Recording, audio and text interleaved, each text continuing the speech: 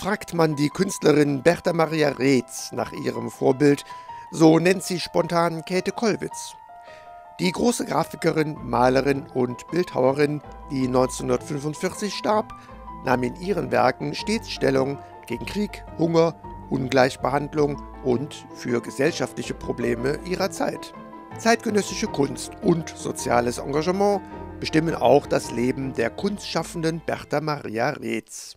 Gesellschaftliche äh, äh Probleme äh, stehen mir ganz, ganz nah wo ich immer äh, etwas verändern möchte. Und da sehe ich auch nicht zu, da greife ich ein. Und ich finde, als Künstlerin oder auch als Künstler ähm, sollte man sich nicht nur an der Leinwand bewegen, sondern man sollte ähm, den Zeitgeist auch einfangen, was ganz, ganz wichtig ist. Und für mich ist von den ersten Anfängen an, genau wie bei der Käthe Kollwitz, die für mich eine ganz, ganz große Rolle gespielt hat, immer in meinem Leben. Ähm, dieses Thema Kunst und Soziale spielt eine ganz große Rolle.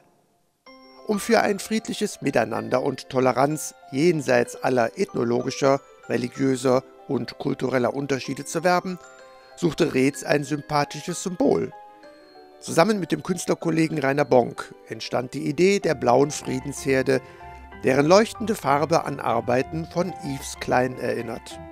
Das Blau als Friedensfarbe findet seine Entsprechung im Blau der EU, der UN, der UNESCO oder UNICEF. Sie ist die Farbe der europäischen Friedensbewegung. Als kurzzeitiges Kunstevent macht seit 2009 eine Herde von 50 bis 100 dieser Blauschafe im Rahmen einer europäischen Ausstellungstour Station in den Städten, die sich an der Aktion beteiligen. Den Beginn machte Venedig. Es folgten 160 Großmetropolen wie Berlin, Köln, Hamburg, Kerkrade, Wien, Innsbruck oder Luxemburg, in denen die blauen Schafe ihr Weiderecht bekamen. Seit 2012 steht die blaue Friedensherde unter der Schirmherrschaft des EU-Parlaments. Die Illusion einer friedlich weidenden Schafherde wird zum Symbol für menschliches Miteinander, appelliert an soziale Verantwortung und wirbt für eine tolerante Geisteshaltung. Alle sind gleich, jeder ist wichtig. Jede Stadt, die dem Blauschafen Weiderecht gewährt, wird zum Bestandteil des Kunstprojekts und dokumentiert so soziale Verantwortung. Als Dankeschön verbleibt ein Blauschaf im Rathaus der jeweiligen Stadt. Nicht nur Städte und Gemeinden, auch kulturelle Institutionen, Unternehmen und Privatleute können sich am Kunstprojekt der Blauen Friedensherde beteiligen und einzelne Schafe erwerben.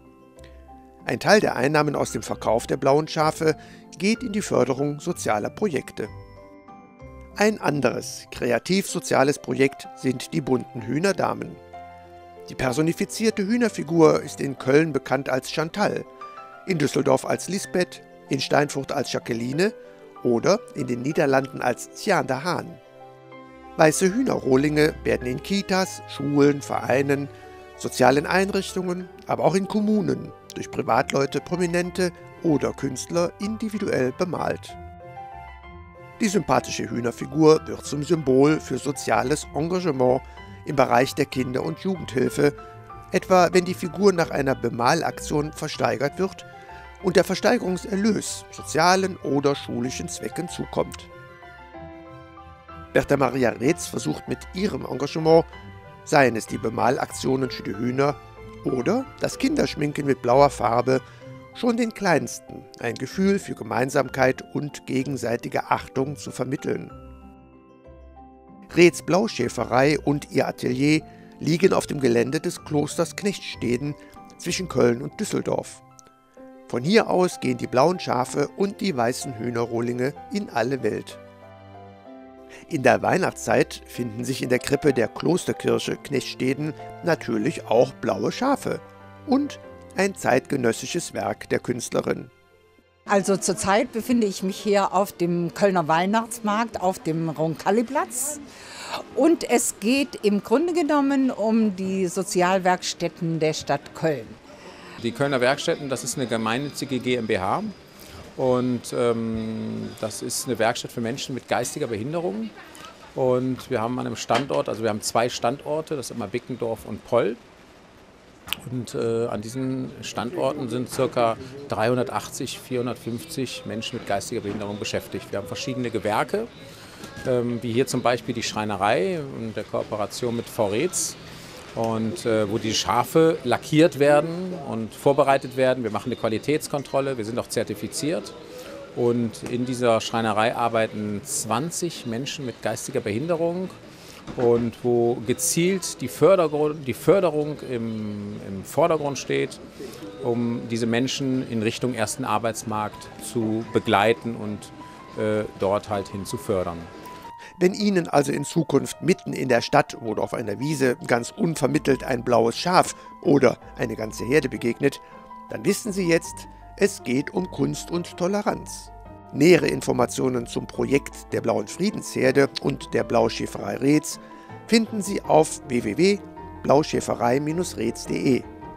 Und zum künstlerischen Schaffen von Bertha Maria Reetz finden Sie Informationen auf www.berthamaria-reetz.de.